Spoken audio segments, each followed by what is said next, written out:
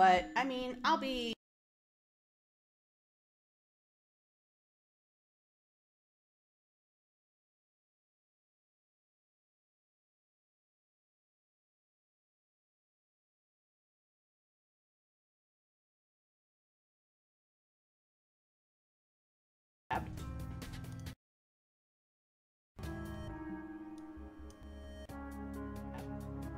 Yeah, it's because I have a tab. Okay. Uh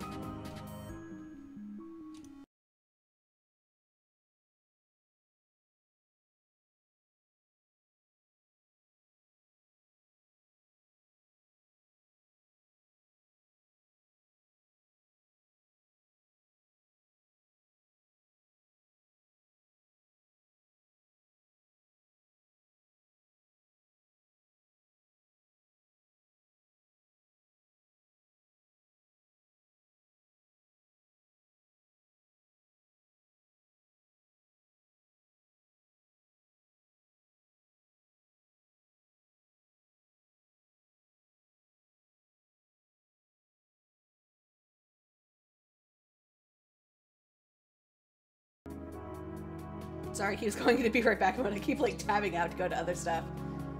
Okay, I think that's Abby in here. Abby, is that you in here?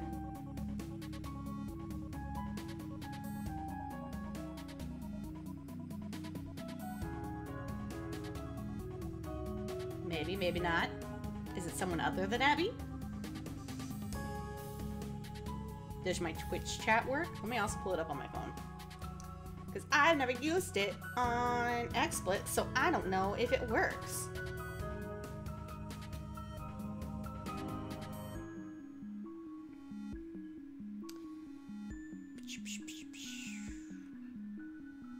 I'm live. Okay, yeah, I have the chat up. One viewer, no one in the chat. Sound like I said no one in the chat. Chad maybe could deal with some people in him. Um, I'm gonna wait another little bit just to make sure that people who want to get here in here are in here. Because that's important. Um, so anyway, what's up with y'all? Um, oh, my AC just kicked on. So I'm gonna let that go while we're still in this beginning part and you guys let me know if it sucks to hear because my mic is like, can super pick up on stuff, but it is also hot. So um, I'll probably turn it off um, once I actually start getting into the game. But for now, um, it, it stays on. Also, I just remembered that while I'm in Right Back mode, you can't hear me. I currently, I think I currently have that set too. Let me see if I can change that setting so you guys can still hear me. Um, I don't think I have that setting in here. I think I'd have to do XSplit and I'd have to like close this and reopen it and I don't want to do that. Um, okay, I got two people here watching. Are either one of you Abby's or neither one of you Abby's?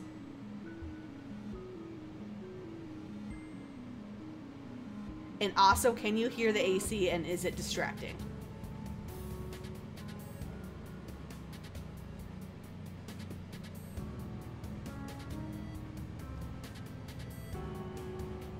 Okay. Oh, hey, yeah, okay.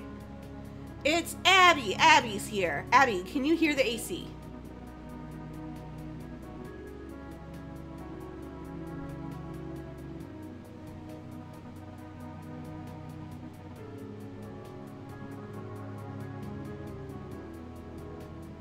Okay, I'm gonna get. A, I'm not getting a response, so I'm gonna assume that means no, you can't. Um, but let me know if you can. Let me know if it gets distracting. It's just need my AC on, y'all. That's why my last video was like an hour. Um, not to say I know this one's gonna go longer, but it just got hot. I'm a baby. And now the AC's off, so you guys don't even have to worry about it anymore. Okay, uh, so let's go ahead and start. Oh, um, let me recap. So the last time, so I'm still on part one of Snowbound Blood. Um, well, I mean, there's the prologue, and then there's I don't know, are they called chapters? Um, volumes.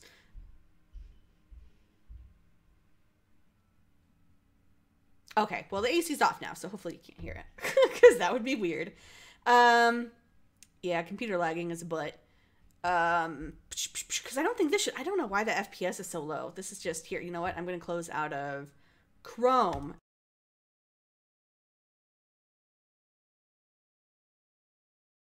And that'll probably help things on my end. Sorry, I keep forgetting I go into BR mode when I do that. Um, so maybe things will get better, or maybe they won't. Because for some reason, even though this is a really basic game to stream, it FPS is low. Anyway, I'm to do my cool joke now. What up, guys? Uh, welcome to Trends Like These. I'm Travis, and I'm drinking Bumbly, which is locally made blueberry honey wine, and it's sparkling. Really, I just want to talk about this because it's neat. And um, Trends Like These, that's a joke. I don't know if any of you listen to Trends Like These, but it's good. You should! Um, Anyway, so last time I played part uh the first hour, well, not the first hour of volume 1 because I played prologue first. Then I played volume 1 and I did the truck scene and people are dead and we check them out and you remember like vaguely seeing one person one time and then being sad because your love life is sad because uh the, from the little bit I know of Vast Error, it's sad. It's very sad. So anyway, so that's what we were doing. And then we got uh, ushered into a side room in the office building by a Jade Blood. So, and also I kept accidentally right clicking because my middle finger likes to twitch sometimes. But let's go. I don't remember any of the voices I did for anyone except for the narrator and Cecily because they were both just my voice. It's very dark in here. There's been there's barely any light to see by, apart from the faint glow from your overhead visor and the occasional flash from of lighting outside. You'd consider typing to find you consider typing what? I'm turning into Justin now, I can't talk. You'd consider trying to find a light switch, but then perhaps that would ruin the effect. Oh no, she hot. The tall, shadowy figure that was in the room when you entered steps into a shaft of light and you can make her out clearly for the first time. Recall. Uh, Hamify? Ham-I-Fi. Like Wi-Fi, but ham. Uh, Hekrix. Uh, Hamifi? I have no idea how to say this name. I really want to go with Hamify, but that sounds silly, and I don't think she's a silly person. Um, Hamifi Hekrix may be more of a no-nonsense corporate cutthroat than her uh, knitwear-loving matesprit. But she has the same underlying instinct for dramatic flair bordering on comical. Oh, the little baby is dating her? Hmm. They're almost made for each other. You have to remind yourself that this is, in fact, very literally true. Man, what the fuck is going on in Vast Error? But between her skulking in the shadows and him looking forlornly out of windows every few moments, it's a wonder these kids get any work done. Now, the effective second in command of the corporate machine is standing in front of you with an ex expectant look on her face. She's holding her signature clipboard, the weapon of choice for a ruthless uh, itin I itinerarian? Itinerarian. Itinerarian. There we go. Get right to it. She doesn't bother saying anything.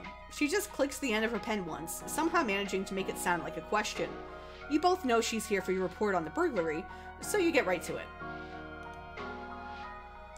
Your eyes drift shut as you begin to recount the afternoon's findings. Something about the darkness makes it easier, like you're giving the information uh, an emptiness to fill, to fill up. Your mouth moves of its own accord, recalling everything in discrete, itemized chunks. All the while, the faint scratching of a pen on paper accompanies your low murmur. It's an odd kind of music the two of you make together sometimes, a routine that's a routine that's familiar despite the business atmosphere. Eventually, it dies down. Your story comes to an end, and you open your eyes again. Hamifi has stopped writing. She's looking down at her clipboard, deep in thought, brow slightly furrowed. After a few moments of silence, though, she looks at you again and speaks for the first time. In. Oh god, what voice to get right? I was just about to use my regular voice. In your opinion, what sort of people are we dealing with here?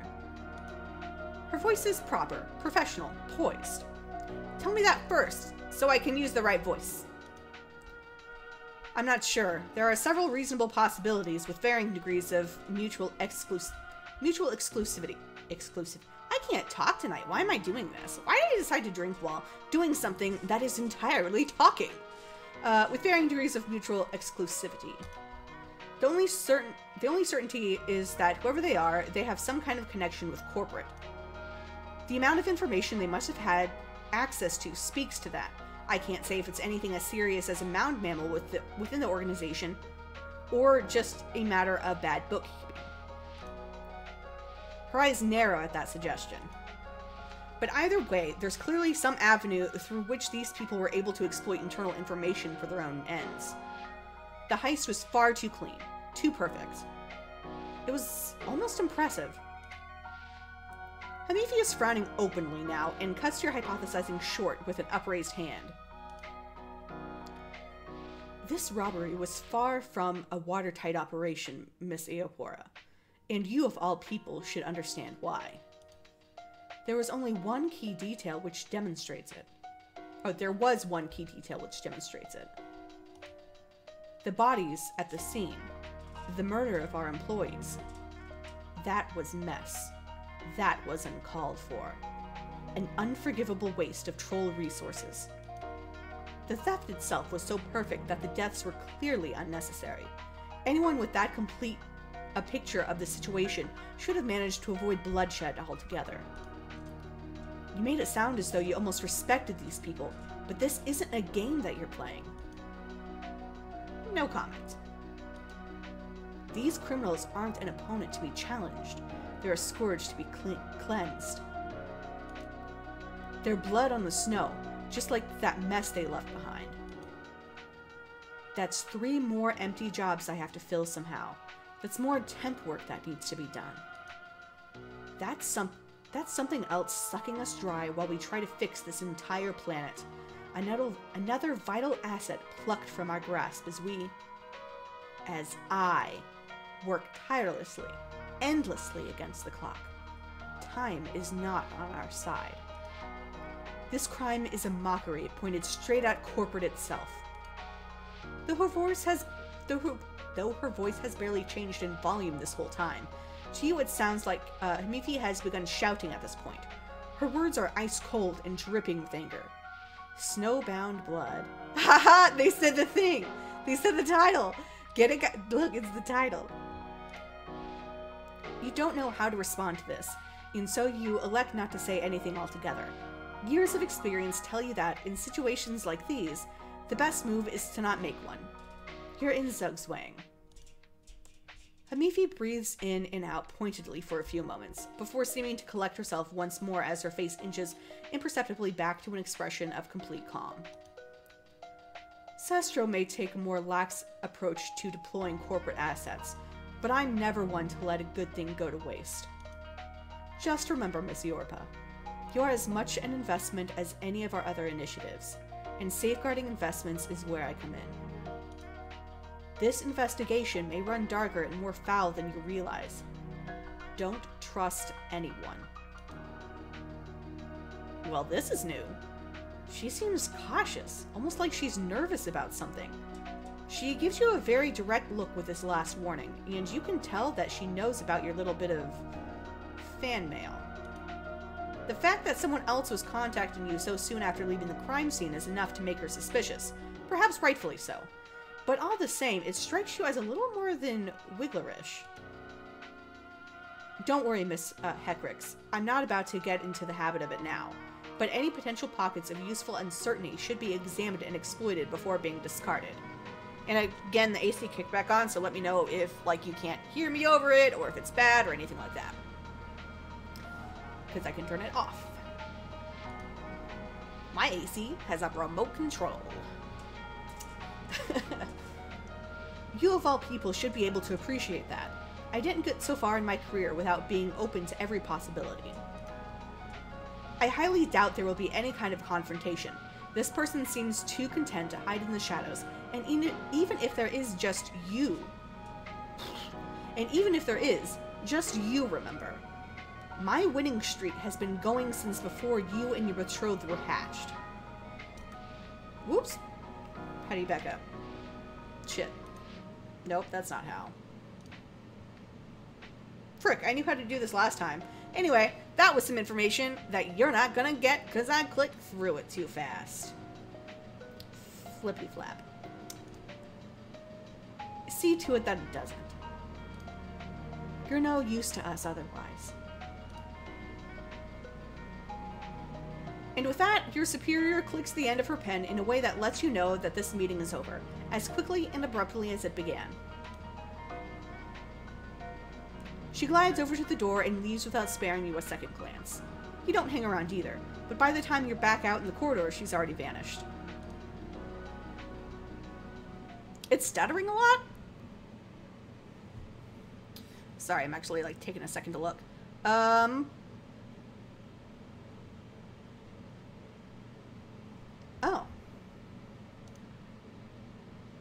Oh, hey.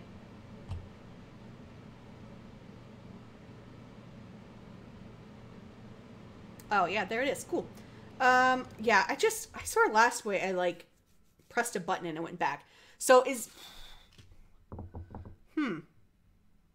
Yeah, because it's saying FPS is really low.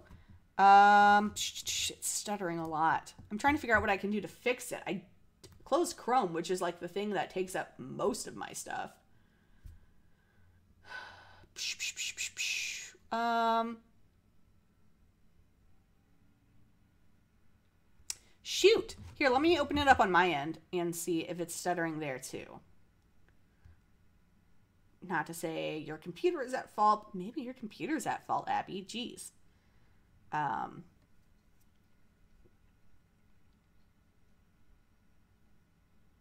there should be a way to view it. Oh, you're pretty far behind?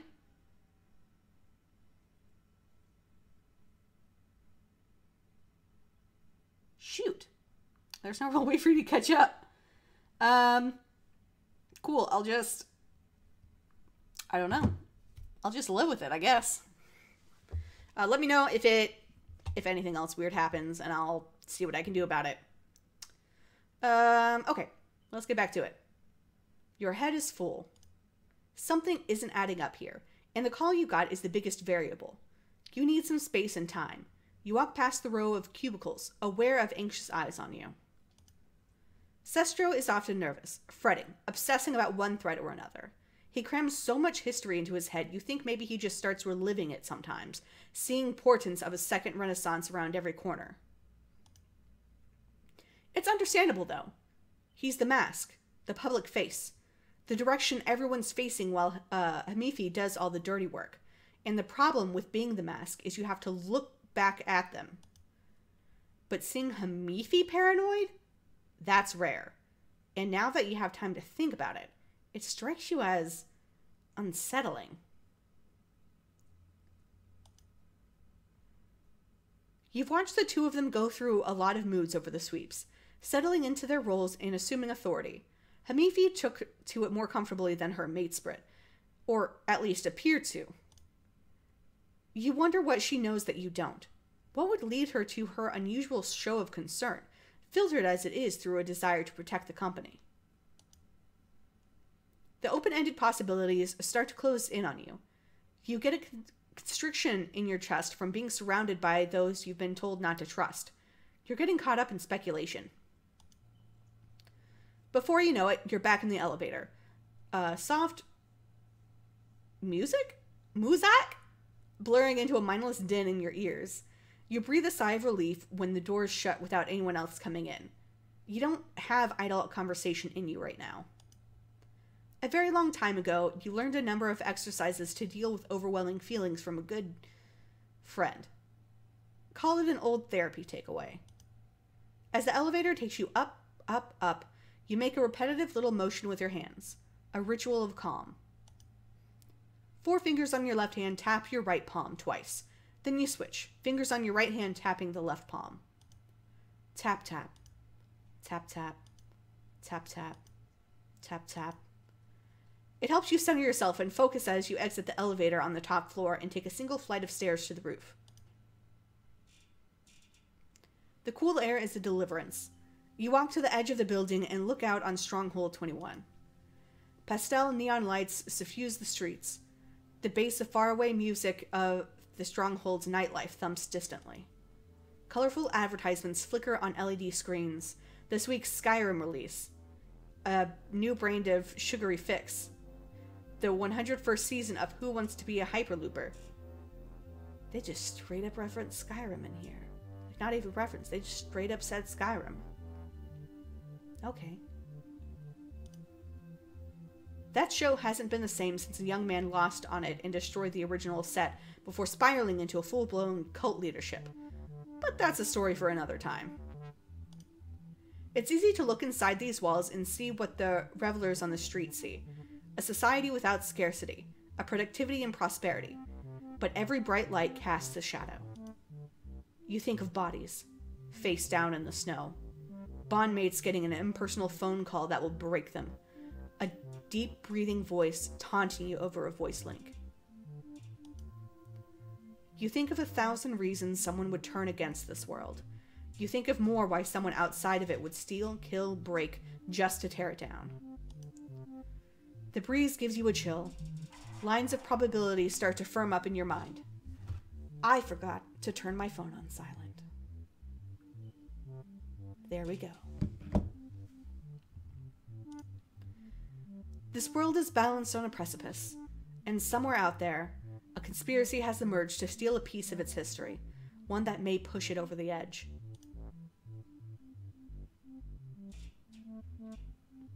It's up to you. Time to make a plan. Oh, hey, I really wasn't that far from the end. I should have stuck it through.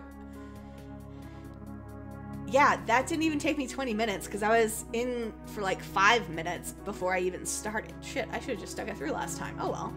I wasn't sure how long it would be. Um. Okay, so let's start volume two.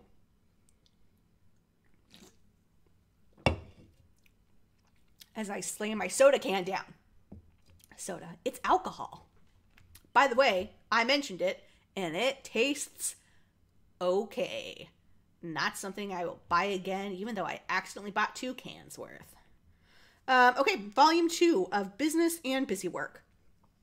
So, I don't think I've seen any of this guy over here, and I think I've only seen porn of her.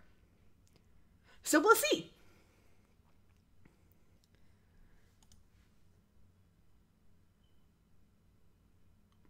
A theft has occurred in the northern wastes. Stolen, a filter of the vivifier's blood, said to have supernatural properties. In charge of the investigation? Yourself. You have your orders, and you have a case to solve. You think that you think you should start close to home, known quantities. You've got two candidates in mind to interview first. You choose. Oh, hey! Now it's like Friend Sim. Before it was just like, there are these people, and now it's like, choose these people. Look at this. This is so cute. He's so happy. And she's very cute. Uh, so ripetite? Ripetite. What? Ripite? Ripite. Ripite? Ripite. I don't know how to say any of these names. and Sarage, Siraj, Siraj, Siraj.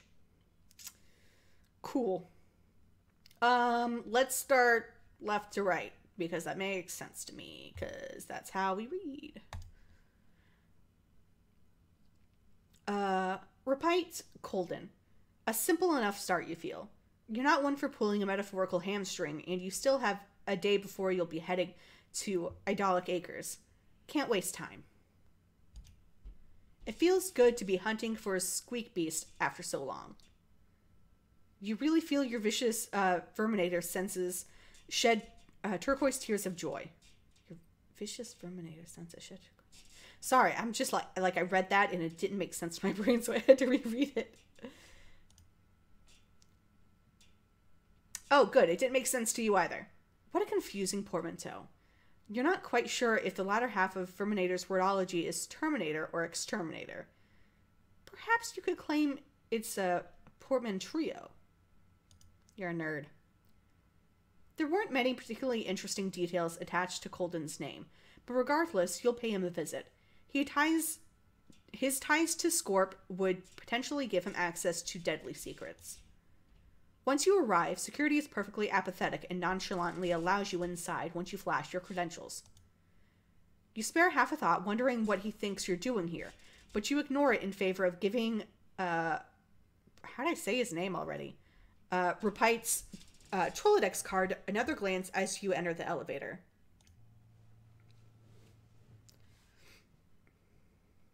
This is so cool. I'm just learning more things that you can do with uh, Ren'Py.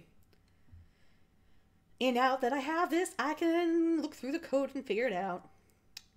As luck would have it, when the doors open, a chorus of, to a chorus of keyboards clacking like mechanical chirp bugs, your eyes drift from the card to the man himself. You examine him from across the room.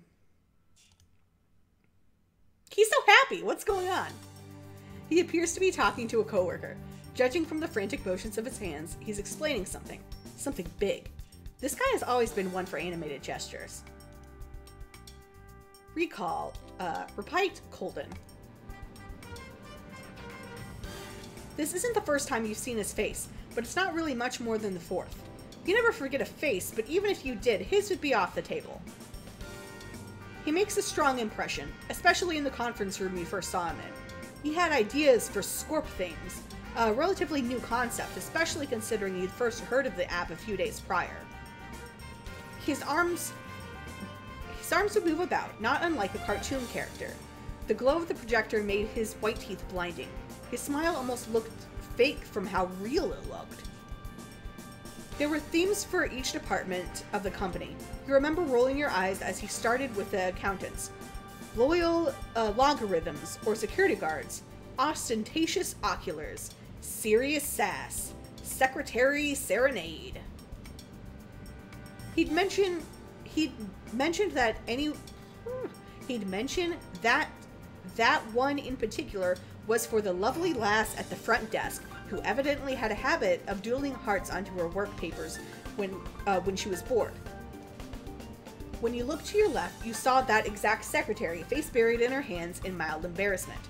Not exactly a secret with dire consequences, you'd think, but also you didn't care.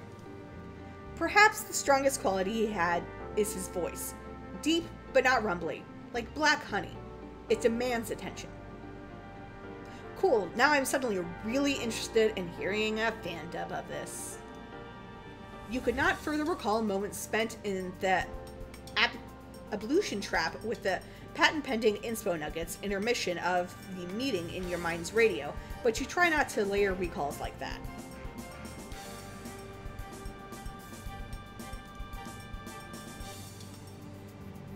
Perhaps you should do your recollection outside of the timed automatic doors next time. That's fucking hilarious. With a mental sigh, you open the doors again. I'm sorry. Could you imagine someone just standing in the elevator, staring straight ahead, or maybe with their eyes closed, and then the doors just close on them, and then in a second, they just open back up and they walk out? Like, especially someone as serious and, like, high-ranking as Cecily? Okay, I'm just losing it over that, that mental image. Exit.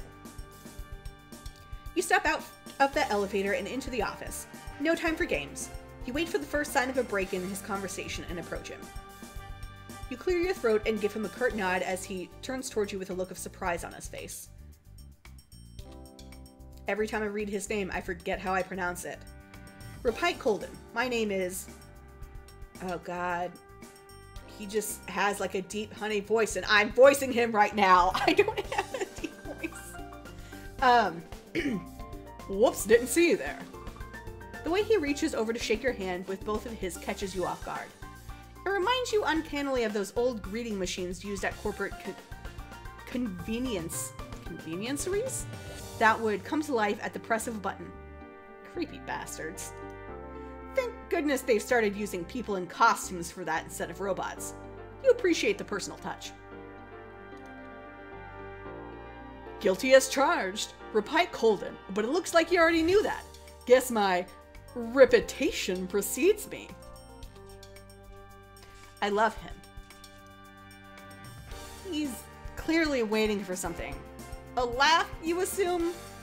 Unfortunately for him, he flops, as the Chuckle Bunker regulars say. My name is Cecily, Cecily uh, Eorpa, and I'm currently conducting an investigation of grave importance. I'd appreciate any time you have to spare for some questions. You like getting to the point. Oftentimes, the point means the point of your blade, and you can never turn down a chance to dance with blades. Only the chances ever came. Rypite's face seems to be somewhat frozen on a smile. He looks confused more than anything.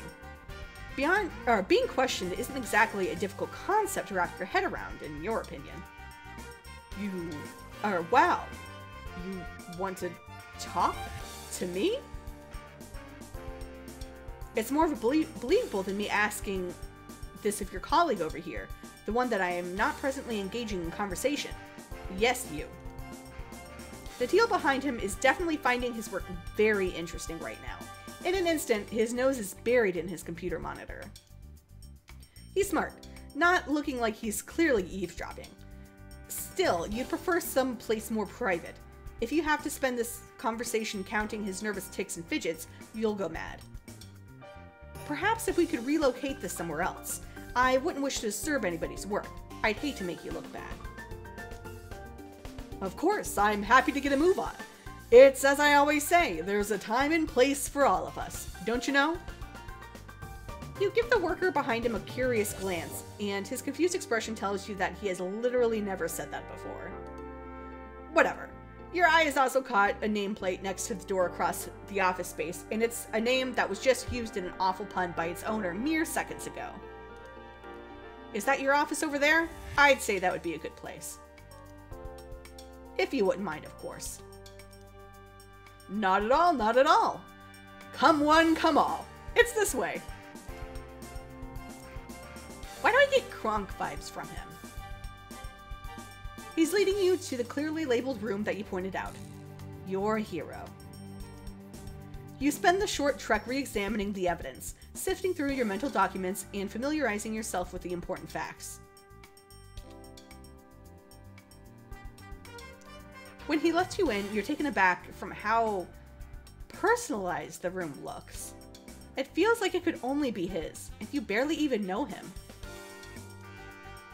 Your mind works fast to find the theme of the miscellaneous junk spread across the room. You see a joke book, a calendar with every day marked, a miniature ray gun model. Arms hoarder? Doesn't seem like the type. That microphone making itself comfortable on the desk catches your eye. He records something, apparently. Rypite, uh, Rypite seems just as surprised as you are, and he rushes to tidy his desk up. You give a whiteboard you give a whiteboard nearby a glance. Based on the doodled alien heads spouting inspirational slogans, someone's got space on the mind, and there I did, accidentally clicking my right button again. Your least favorite is the three-eyed alien telling you to reach for the stars. A little on the nose. Sorry, so sorry. I forgot I was having a synapse squall in here. Taking a gander at my design work, we're working on a brand new Scorp theme, Celestial Crossroads. Did you know that in From Repeton to a Moon, the author's rough calculations on the requirements for the cannon able to launch three people into space were remarkably accurate? Fascinating, isn't it? His cannon was still impracticable, impractical, but it was quite a commendable attempt. We can talk trivia later. Take a seat, Mr. Colden. You're not sure why you see Rypite grabbing for his seat, but you can tell that he's doing his best to try and lighten the mood. Where do you want me to put? Your cold stare pierces through him like a hot knife through buttery cliches. You're not in the market for a lightened mood. The few inches he'd lifted his seat off the floor are reversed, and he lets out a fake cough before sitting down. Cecily, you just love him! Right, investigation. I'm not really sure what you need from me, but I'm an open book. But first, I have a question for you, Miss Yorpa. For me, you say? I was under the impression that I was questioning you. He nods enthusiastically and doesn't wait for confirmation before he dives right in. You seem quite tired. Have you had enough soda? I've got a spare cushion lying around if you want to take a snooze cruise. Your business can wait, I'm sure. Self-care first. Is he trying to change the subject? I've had a sufficient amount of sustenance, thank you. I'd really like to have the reins of this conversation again, Mr. Colden. He raises his hands a little bashfully, and though he's smiling, there's a slight sorrow to it. Like he knows that was perhaps his last chance for a lighthearted conversation. Right, all yours. My hands are off. I'm nudging them in your direction, and please, call me Rypite. May I call you Cecily? No. With the investigation properly underway, you retrieve a folder that might help contextualize the situation slightly. For him, you mean. You've already read this document a significant number of times. Once. Recently, in the Northern Waste, there was an armored truck that was intercepted that was intercepted en route to deliver some particular goods back to corporate. In particular, a valuable package was stolen. You'll spare the details in case he turns out to be a blabbermouth. He doesn't sound like he has much of a filter, even if you uh, even if you could be wrong. It was an unscheduled transport, so the culprit must have ties to corporate. Would you happen to know anything of this operation, before or after the fact? Is there any... Is there is there talk of any Arctic antics in your area of the corporate ladder? The look on Rypite's face is one of slight concern, and while you're trying to figure out whether it's genuine worry or just a cover up, he gives you his response. I can't say I've heard of this, but that certainly sounds kind of dangerous. Is everybody okay? Yes, you almost say in the most disappointed voice you can muster, the armored truck full of priceless assets was intercepted and nothing happened. They had to pay a fee for crossing the bridge, draw straws to see who'd be stuck being the driver, sing an obnoxious repeating song the whole trip home. Three employees died, two armed guards and the driver. You start to lose faith in the idea that he'll be any help to you because he's getting teary eyed about three complete and total strangers he didn't know existed until tonight. Golly, those poor souls! They were only doing their jobs, protecting that truck, that poor driver. Trying so hard to drive so far. I love him! It didn't even matter in the end, your mind whispers to itself. But you let him grieve for a few more seconds. And that truck, having to endure the harsh cold, I hope its driver loved it and cherished it. I'm about to cry! I love him! Why has no one been talking about him? Or maybe they have, but I haven't been paying attention because I didn't know the context. And that package, it must feel so scared and lost in the hands of who knows who. Are you absolutely sure there's nothing you know about this truck, Mr. Colton? I find it difficult to believe that you have zero ties with this incident. Gosh, I'd love to help. I really, really would but I don't know what ties I could possibly have. I mean, I wear a tie, is if that's any good. I could maybe toss you one as well if you'd like. I'm positive you'd really pull it off. You're not just unsure if he's the culprit, but you're downright rooting against it. Please, please let there be a better antagonist to chase. You have a way to know for sure, and that method uh, is the rest of this interrogation. There is something I'm looking to tie up, and it's all the loose ends of this case. Yeah, you think. What a badass comeback.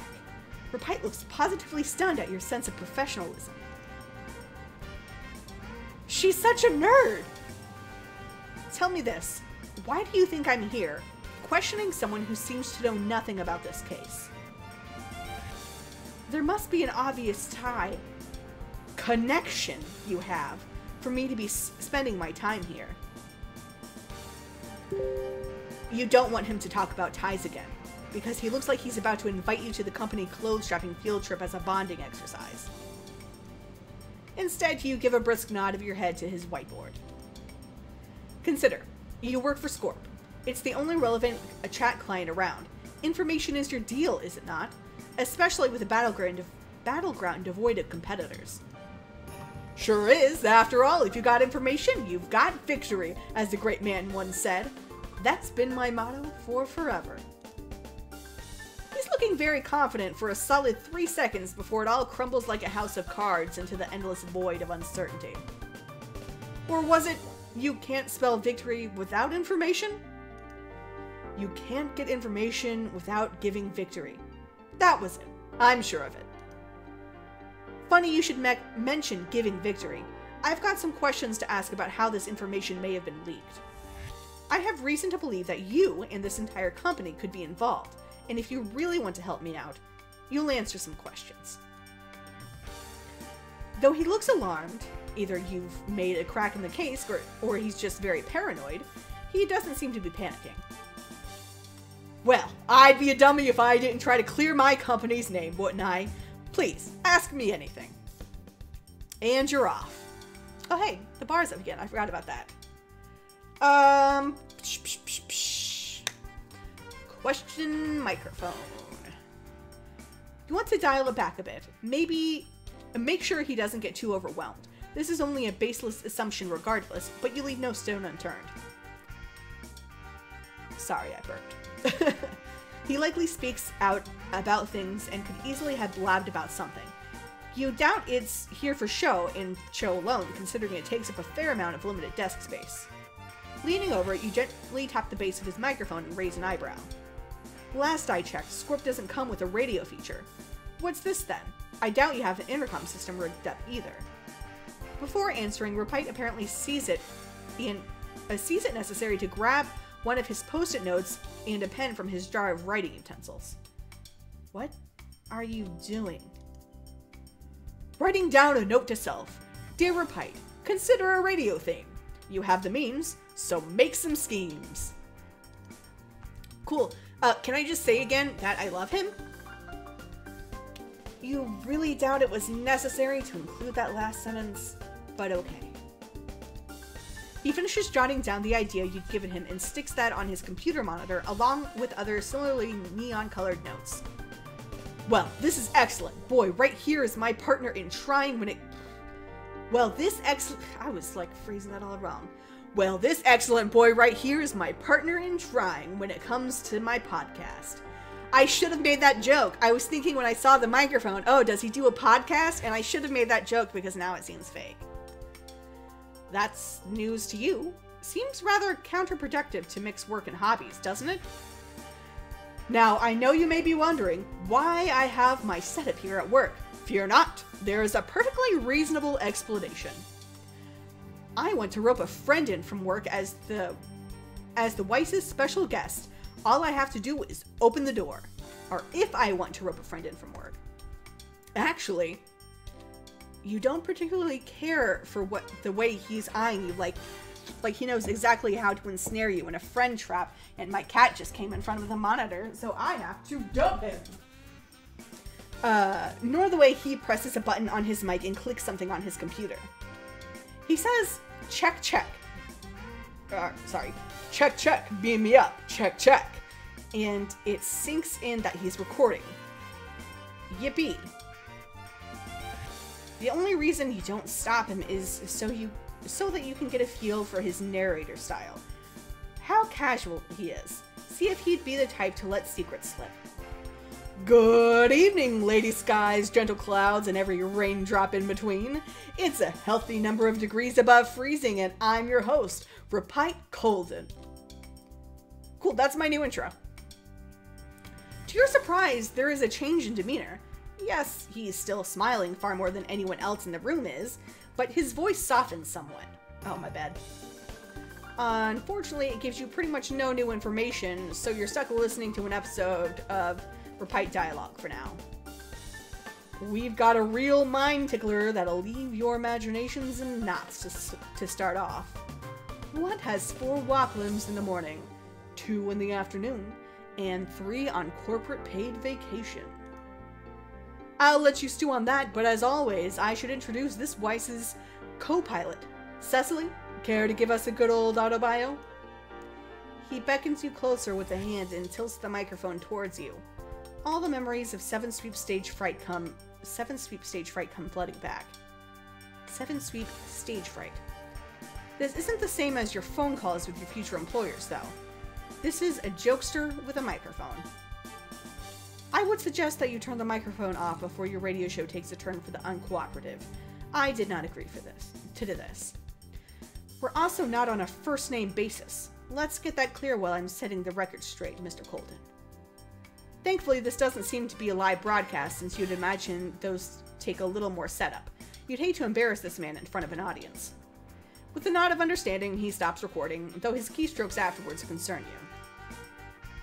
Don't tell me you're actually saving that. Let's just call that a work in progress. Revisit that one some other time. In the meantime, perhaps try saying things with words instead of throwing me into the deep end of the talk show pool. Rypite seems happy enough to plug himself, pulling a rolled up poster out of his desk drawer that has a suspiciously similar composition to one of the science fiction flyers strung up on his walls. He explains it's like he's pitching he's, he explains it like he's pitching it to an executive, which you find somewhat entertaining. He's just uh, missing the oversized paper that he pulls back to reveal his storyboard and marketing research. Whether or not it's a good day is a podcast I run in my off time. It stars me and a new co-pilot every episode, where we talk about what else in a uh, what else in an empty conversation? The weather. We've got a segment for Neato Riddles. We talk about sci-fi, the occasional glad libs, but it's primary weather talk. Primarily weather talk. The answer to that riddle was a troll, by the way. It was a stretch. At least you can add almost started an audio show to your resume. Ironic, the blade wielder hits the cutting room floor. Press about Scorp. It's the most logical question, considering you're dealing with someone somehow knowing something. Like all crimes committed by people who are awake. Scorp is all about information. You intend to find out how your info was passed to an outside party. Scorp just blew up out of nowhere, didn't it? Hadn't heard a thing before it was suddenly swallowing its predecessor with an unhinged jaw. Rushing headfirst into new things seems to be a theme around Scorp. Pouring time and energy into a broken concept? Classic. Textbook, as a matter of fact. I'd imagine you're quite proud of yourself, being so high up on the corporate ladder. Last I checked, it ranks number one on my list of favorite things.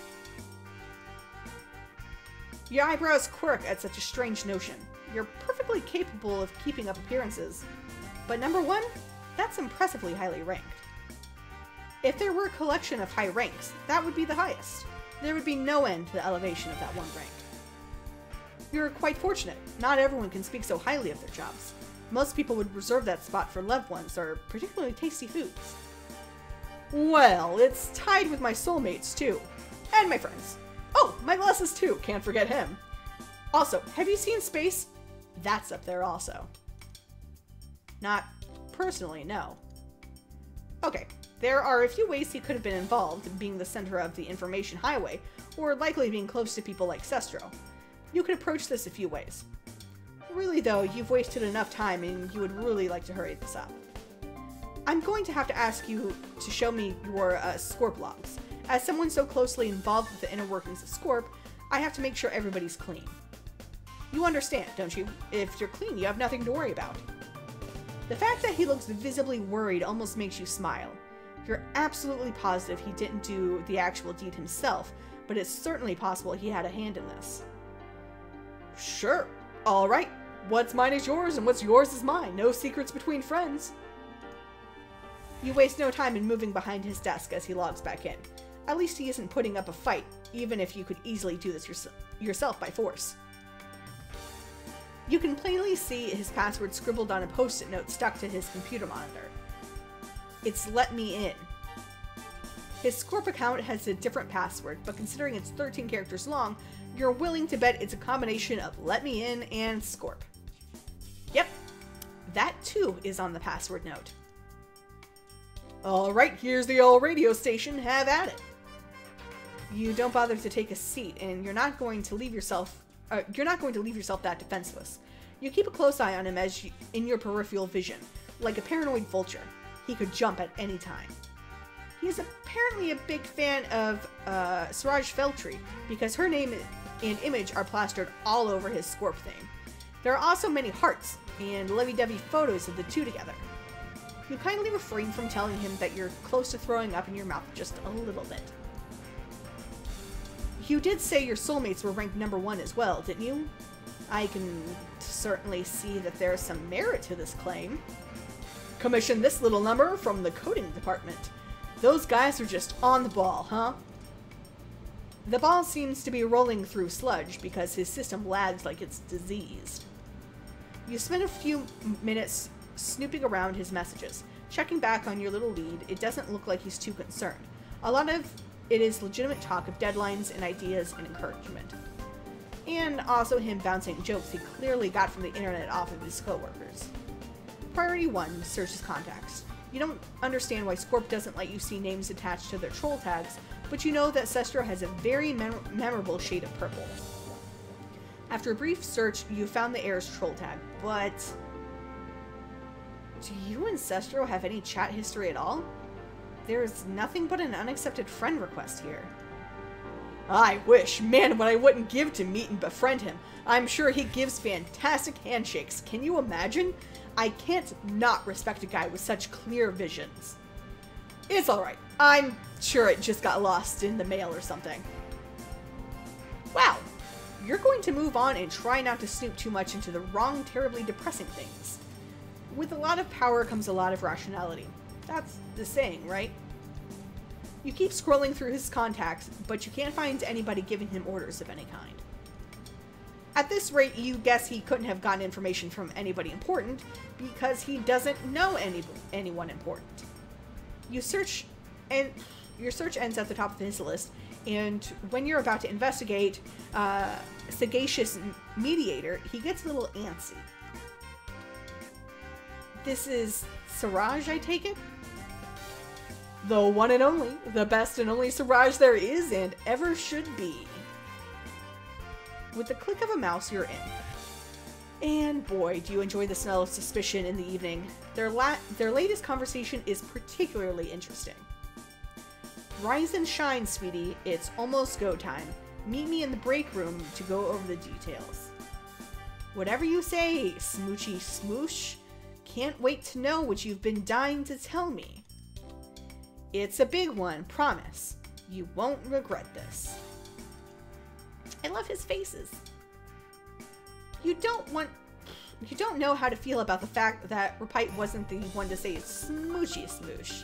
But more importantly, timestamps date this conversation less than 24 hours before the crime. Anything to say, Mr. Colden? You expect to grill him insistently over the course of the next few hours, but he looks ready to burst already. Okay, okay, you got me, I'll talk. My grublet and I might have been a little late getting back from our breaks recently. I've been giving her leaks information. Pep talks. That's your big lead. Rypite's cheerleader. He's giving you a headache instead of an L, an E, an A, and a D. Yeah, work's been stressing her out, so we meet up in a secret spot and I give her encouragement. But we only do it during work because that's when she needs it most. You slump back in your seat and try to keep your bitter thoughts to yourself. He's a real piece of work despite doing nothing noteworthy at all. Am I in trouble? I'll look the other way. At the notion of being let off the hook, he seems to perk right back up like nothing happened. He's leaving that little episode behind, looks like. Wrap it up. You're wasting your time, you think to yourself. You've gained nothing from this conversation. He's looking to you, silently asking what the problem seems to be. It's not his business, quite frankly. He's giving you a gentle look, like he's trying to sedate a frightened animal. Are you sure you're doing okay? You don't seem in tip-top shape to me. I'm fine. You've only wasted precious time on false hope, after all. Rypite doesn't look convinced. I... I didn't let you down, did I? Oh, that's cool. I bolded and not bolded. I didn't think you'd notice.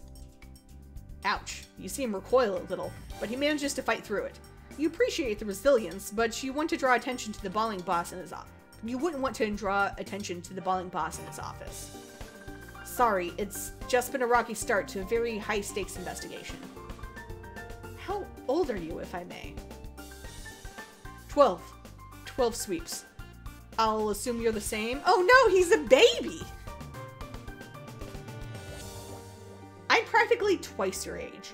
I wouldn't say I'm qualified to give you advice for management, but I certainly have some life le lessons under my belt. Here's one on the house. The first pawn you move can spell your downfall from the very start. It doesn't matter how you play the rest of the game if you begin poorly. The opening gambit sets the scene. You can't rewind that. All you can do is mend the damage before your throat is slit and you bleed to death in a regretful husk. Not everyone can move ahead so blindly without think thinking like some companies around here. A moment of silence hangs uncomfortably in the air as he tries to figure out what to say. You can see the words buried under his tongue, different ones attempting to escape with no luck. You start to pack your papers and stand up, thoroughly spent from a few hours of learning how much of a goofball a boss can really be. I'll be seeing you. Actually, I'm gonna need you to wait just a second, miss. Excuse you? Oops, accidentally clicked that again. As you turn around to follow him, you see him marching over to the door, sliding his wheelie desk chair right in front of the door under the handle. Hmm. He doesn't even prop the chair up to the doorknob to uh, stop anyone from else from coming in, or to lock the wheels, or anything. You do realize I can easily move that out of the way. I have people to talk to. Or even just sneak past the gap he left he left behind some very light furniture because it's not entirely a snug fit. Not a traditional, uh, I have no idea what that word is, in Passant, but practical all the same. At first, he doesn't respond, instead wiping all of his creative mind map from his whiteboard. You have you have a puzzle to solve, and I've got two thumbs and also a puzzle to solve. I want to help, Cecily. I know we can work together and come up with an answer for these mysteries. I'm a creative director, and a creative director. I'm a creative director and a creative director. You wanted me to think, and I. I really, really want to do something. I don't know how I'd feel if I let you walk out of here without having done anything. That looks somewhat important. You've written that deadline is in two days. Please tell me you backed that all up somewhere. Nope. That was the only copy that existed, and now it's gone forever. Helping you is more important. I love him. Well, now I've negatively impacted your work schedule, I really should be going. Nonsense, we have a crook to catch. And so he gets to scribbling, scribbling and scrawling and jotting down words and linking them with wavy lines. Let's just mark the keywords. He's underlying every word he writes.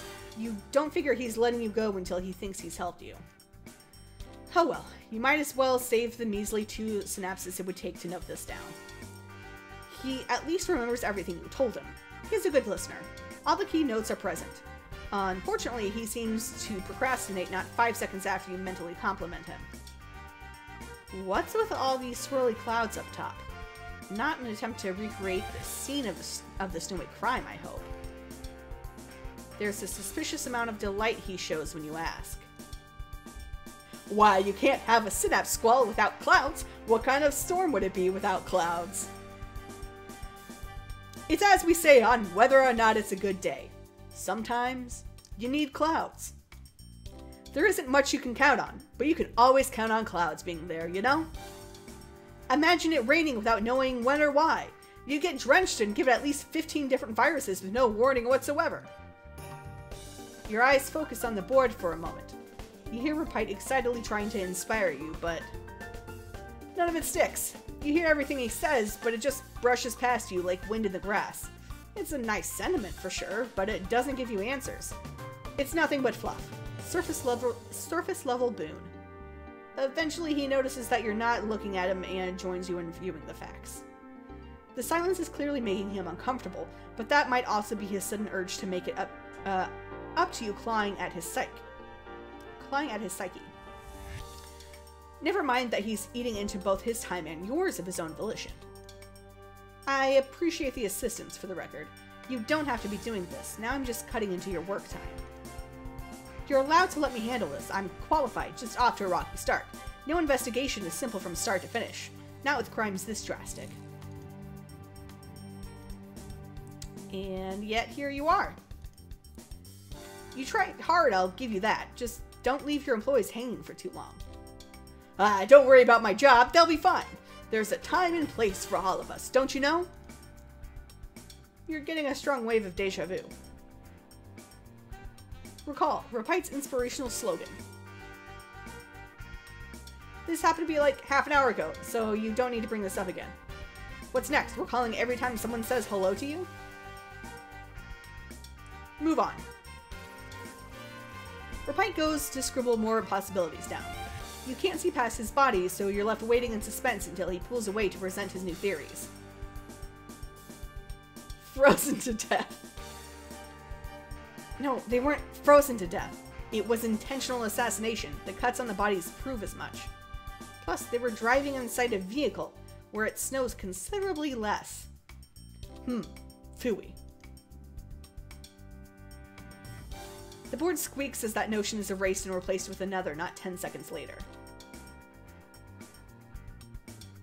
They didn't turn on each other either. Who would have run off with the vial if all three were killed? With another tisk, he's putting a, one more idea on the line, and that's just the plot of a mystery novel released four sweeps ago. Yeah, he's talking about the character arc from one of countless Brendan Fraser roles in the film adaptations. Is he serious? He looks serious. The plot of that book looks even worse scrawled on a whiteboard, but you decide to bite the bullet and pat him on the head. You know what? I'll let you know if we get a ransom note from a man with many skills from inside corporate. I sincerely promise. Aha! I knew it! It's always someone from inside the company. Who else would know what was inside the truck? You're the one who said that, but whatever. You bite your tongue as you drag the impromptu blockade you'd set up out of the way. You're eager to find some new leads, and even if it seems anticlimactic, you need some space. Oh, are, are we done? But of course, I have an infiltrator with many skills to catch after all. Thanks for your help. You try in earnest not to sound sarcastic, because then you'll probably be subjected to more randomly generated murder mystery plot twists and hurt feelings. It seems to work because Rypite catches and shakes your hand goodbye before you can escape, and tosses you his business card while he's at it. It's good to branch out if you need help. Every branch comes from the same tree after all. Don't forget, I've got your back. You have no idea what the joke he's clearly, clearly hinting at is. He's winking and grinning and patting himself on the back for some reason. You're thanking him politely, yet sternly confirmed that you're leaving.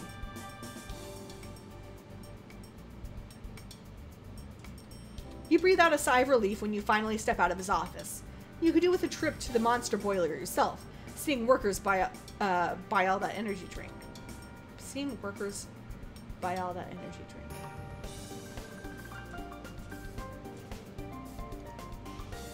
But it's time for you to clock out. You've learned virtually nothing, but you suppose you have new phone numbers in your bank. He apparently wrote down his soulmate's numbers on the back of the card too. In blue pen, his moirail is described as good at puzzles like this. You start wondering whether or not it's worth it to reach out to another detective before the reason his voice has inflected before the reason his voice had inflected strangely earlier dawns on you.